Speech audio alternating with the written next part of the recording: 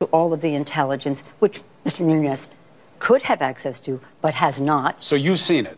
I've seen it. I've seen not only the memo and the basis for the memo, but the uh, underlying documents. And? And what they're putting forth is a total misrepresentation. It is false. And they're putting it out there as if it is factual and then saying, we're going to show this to the American people, but we're not going to show the rebut- rebuttal to it by the Democrats. Now, the Democrats have said rightfully we shouldn't be putting anything out unless it has been reviewed and redacted by the intelligence, the appropriate. But they say agency. they don't want the DOJ to look at it because they are part of their concerns about how Well, things were done during the campaign. The DOJ is only one part of the intelligence community. The intelligence community is vast. It's the CIA, the DNA, uh, DNI, the uh, uh, uh, National Defense. Uh, uh, everybody has their element of it, and sources and methods must be protected. But not only that, I can't even reference some words that are in it because. Th- that would be a violation of the confidentiality, of the classified nature. Right. So this, again, putting this aside in terms of tit for tat, which you seem to, well, with all due respect to you, it's trying to make it look like Democrats versus. It isn't about that. It's about our national security. And our President of the United States is the Commander in Chief, and he should stop this immediately. He should stop You think he's not going to release the memo? He says he's going to. He hasn't even probably seen it, but he's going to release it. In, in fact, he should be saying if no release should ever happen without the agencies of the, of the intelligence community reviewing and redacting from public review. Who's going to share intelligence with us if they think it's up to uh, Uh, uh, not even reading the stuff and releasing? You put a lot of this on Nunes, but that means you put it on Ryan. That's right. Because the That's speaker right. picked him. Do Absolutely. you blame Absolutely. Paul Ryan for what's I, going I on? think that he has a major responsibility in what I call a cover up of what they are doing. It's really very sad. But again, it's a cover up, also, it's a distraction. What really we are trying to do right now is keep government open. Uh, they have a problem with that because they're ineffective and. Um, you think they're doing this because they don't want the government to be open? well, I think they're do, they're do, every, whatever they do is a distraction. So when, you never know what's But that's what next. they say. So help me understand this. I know you can't reveal classified No, information. no, don't. I Though. I, I'm not. I'm not going to push you on that, but I will push you on this one idea. It is hard. I have to believe it's hard for the American people to have faith that anybody in this city where we are right now is out for the truth and not out for politics. And I can understand why they want it all released. Congresswoman, I can understand why they want it all out because they say, you know what, we can't trust you guys. Let us read it. Let us figure it out. You can redact the names. You can make it safe enough for us to look at it because they say the same thing about you. No. That the Russia investigation, there's no collusion. You guys are pushing the ball to political advantage to stymie the president. And they talk about this memo like it should have been in the Raiders of the Lost Ark, this thing, that this is the holy grail of the truth about what was happening during the campaign. And it points the finger at the Democrats and the FBI. Well, let me just say this. Uh, we're not going to become them, the Republicans, because they are totally irresponsible in this regard. We're talking about the intelligence community. We're not talking about some issue that we're having a fight about. We're talking about our national security. As I said, when I've been on that committee, had been on that committee a long time and served uh, as leader in, involved in those issues. And this isn't to not to be politicized.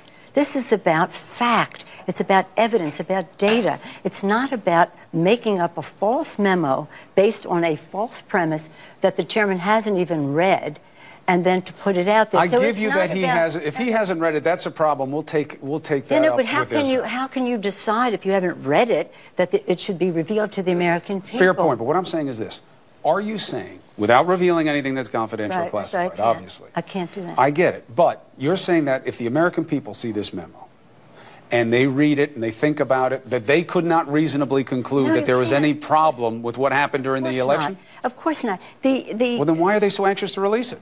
Because it's not even true. It's not even true. They have made up a memo that isn't even true, and they're lying to the American So what are you going to do about it? Well, we, we have put forth a memo, which we reluctantly did, but said don't put this out unless it is reviewed and redacted. That Now it won't be out when theirs is out.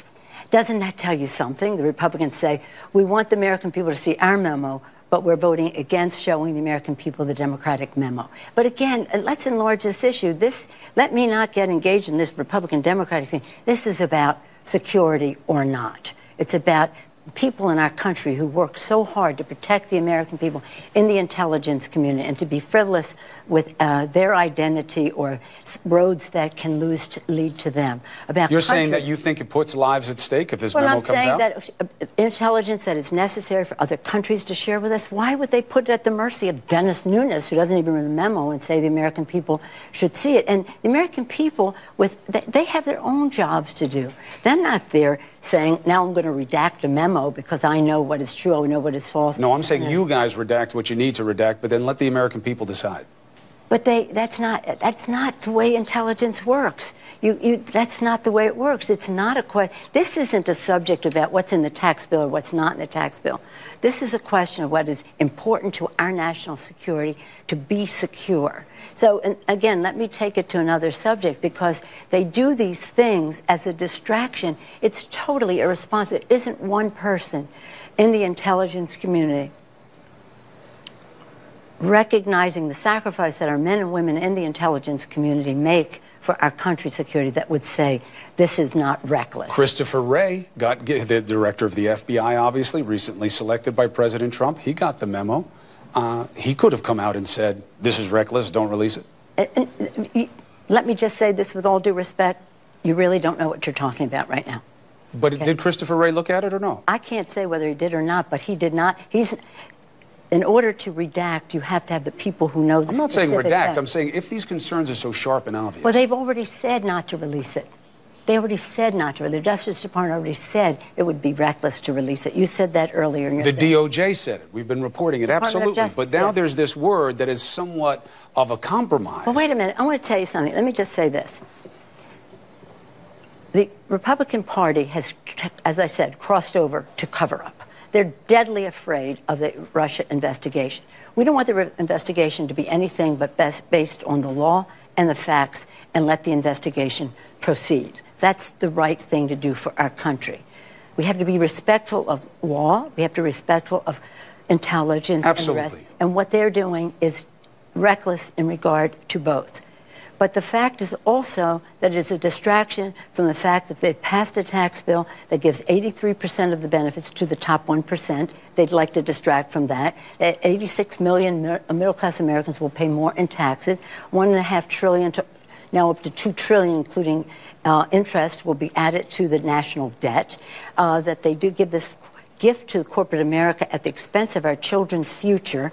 They don't want to talk about that. They don't want to talk about the fact that they uh, have what, what, they've done in terms of the president put forth a ridiculous memo on, uh, well, I don't know if he put it forth or they leaked it, on in, uh, infrastructure, which doesn't even go near what our country needs. Uh, they are uh, doing bad things in terms of Im- immigration and the rest. They, what they do is they give you a nugget. They say, "Here's what we're doing on on uh, immigration. Isn't that wonderful?" While it looks so pretty, and while they do very unpretty things behind mm-hmm. the scene. Same thing with uh, um, tax bill. Isn't this a nice little thing we're giving you while we give?